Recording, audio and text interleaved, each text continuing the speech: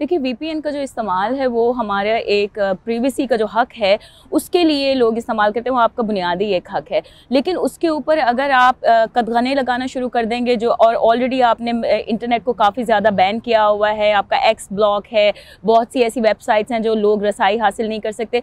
और ये एक बहुत बुनियादी बात भी है कि अगर मैं और आप अपनी कोई इंटरनेट बैंकिंग अगर इस्तेमाल करें तो हम ये तो नहीं चाहेंगे कि हमारी जो मालूम हैं इंटरनेट जिस तरह हम एक्सेस कर रहे हैं। वो कोई आम शख्स देख सके या वो बैक एंड पे कोई देख सके तो ऑफ़ कोर्स मैं कोई भी ऐसी चीज़ करने लगूँगी जिसका ताल्लुक मेरे अपने राइट्स के साथ होगा ऑनलाइन तो मैं उसको ऐसे करूँगी कि मेरी प्रीविसी के जो राइट है, मैं उसको महफूज रख सकूँ। तो वी पी का बेसिकली इस्तेमाल यही है कि लोग अपने प्रीविसी राइट को महफूज करने के लिए करते हैं और जो उसको ब्लॉक करना है, वो बेसिकली कदगन लगाना है कि आप लोगों को कह रहे हैं कि आप ना तो ब्लॉक चीज़ों को एक्सेस कर सकते हैं और ना ही आप अपनी हिफाजत के लिए वी को इस्तेमाल कर सकते हैं। तो निकित अब जब हुकूमत कह रही है कि एक टाइप ऑफ़ मिस्टेक थी, सारा वीपीएन को बैन नहीं होना चाहिए, सिर्फ़ अन इस्लामिक एक्टिविटीज़ या ब्लास्टमी या इस तरह के एलिगेशन का इस्तेमाल जो है वो अन इस्लामिक है।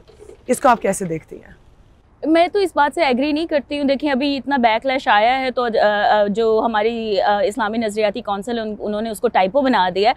वो एक इंतहाई इंटेंशनल एक स्टेटमेंट थी जो उन्होंने जारी की थी और उस, उसका मकसद बेसिकली स्टैंप लगाना था कि अगर जो ब्लॉकिंग हो रही है और उस पर अगर हम वीपीएन को भी रेगुलेट करने जा रहे हैं उसको भी बैन करने जा रहे हैं तो इसका एक इस्लामी एक नज़रिया भी है। और आपको पता है कि किस तरीके से लोग आँखें बंद करके कोई भी इस्लाम के हवाले से बात की जाती है तो वो उस पर आके बंद करके यकीन कर लेते हैं। लेकिन चूँकि बैकलैश आया है, चूँकि दुनिया बहुत बदल गई है तो उन्हें अपनी स्टेटमेंट वो वापस लेनी पड़ी है। लेकिन देखिए ब्लास्फेमियस कंटेंट पोर्नोग्राफी ये सारी वो चीज़ें जो इंटरनेट पे अवेलेबल हैं, रहेंगी, कभी आप उसको कंट्रोल नहीं कर सकते। जो मुख्तलिफ़ आप चीज़ें करते हैं ब्लॉक कर दिया तो आप समझेंगे कि कोई ब्लास्फेमी का एक्सेस नहीं कर पाएगा, या कोई ब्लास्फेमी जो है वो कर नहीं पाएगा। तो ये एक ऐसी फजूल बात है।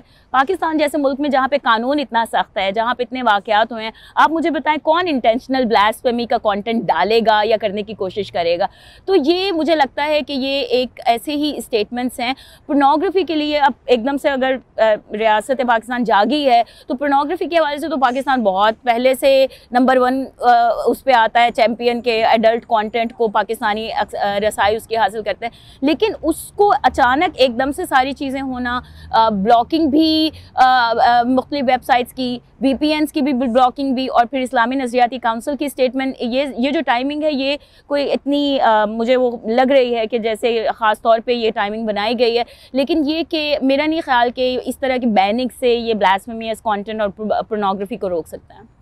तो पाकिस्तानी हुकूमत का जो एक हिस्ट्री भी रही है इंटरनेट बैन की, जिस पर बैन अवी तनजीमें भी तनकीद करती रही हैं। तो ये कितना बड़ा मसला है? अगर हुकूमत ये कहती है कि वो नेशनल सिक्योरिटी और टेर्रज़म जैसे मसाइल को संभालने के लिए, उनको रोकने के लिए इस तरह के बैन लगाती है तो। देखिए, ये, यही बात हुकूमत को समझनी चाहिए कि अब दुनिया एक तरफ़ जा रही है जिसमें बहुत से ममालिक बैन करते भी हैं और ऐसे, जैसे इलीगल कंटेंट है या टेररिस्ट एक्टिविटीज़ को रोकने के लिए तो आपकी जो हिस्ट्री है आर्बिट्रेरी बैनिंग की और ब्लॉकिंग की, वो फिर आपके जायज़ काम को भी नामुमकिन बना देती है। उसको भी लोग तशवीश की निगाह से देखते हैं। तो ये अब उनको एक तो अपनी हिस्ट्री को करेक्ट करना पड़ेगा कि आप आर्बिट्रेरी एक्शंस ना लें और अगर आप लेते भी हैं तो उनको ट्रांसपेरेंट रखें ताकि लोग आपसे सवाल पूछ सके, ताकि आप उनको अकाउंटेबल हों कि अगर आपने एक सर्टन एक्शन लिया है तो आपने किस बुनियाद पर लिया है और उसकी वजह क्या है? इंटरनेशनल ह्यूमन राइट्स फ्रेमवर्क भी है और हुकूमत पाकिस्तान ने आई सी सी पी आर और इस तरह की इंटरनेशनल ट्रीटीज़ को ना सिर्फ़ साइन किया हुआ रेटिफाई भी किया हुआ है। तो आपकी रिस्पॉन्सिबिलिटी इंटरनेशनल लाइबिलिटी एक बनती तो है तो आप अपने आप को अकाउंटेबल तो ठहराएँ। अगर आप आर्बिट्रेरी एक्शन करेंगे ट्रांसपेरेंसी भी नहीं होगी, फिर लोगों को शको शुबात तो होंगे और लोग सवाल तो करेंगे। इस तरह की बैन से एक आम शहरी पर पाकिस्तान में क्या असर पड़ता है? उनकी ज़िंदगी कैसे मुतासर होती हैं?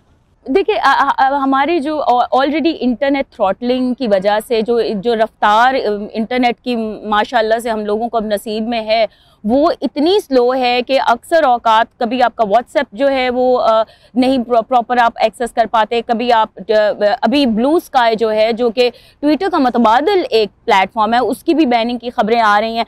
तो आम आम शख्स जो कि डिजिटली लिटरेट भी नहीं है, और उसको पता है कि अच्छा चले मैं वीपीएन को इस्तेमाल करके ब्लॉक कुछ वेबसाइट्स जो है, उनको एक्सेस कर लूँगा, जो इलीगल नहीं है। बाय द वे अगर आपके प्राइम मिनिस्टर साहब और आपके मिनिस्टर मिनिस्टर्स जो हैं, वो ट्विटर इस्तेमाल करें, इसका मतलब वो इलीगल नहीं है।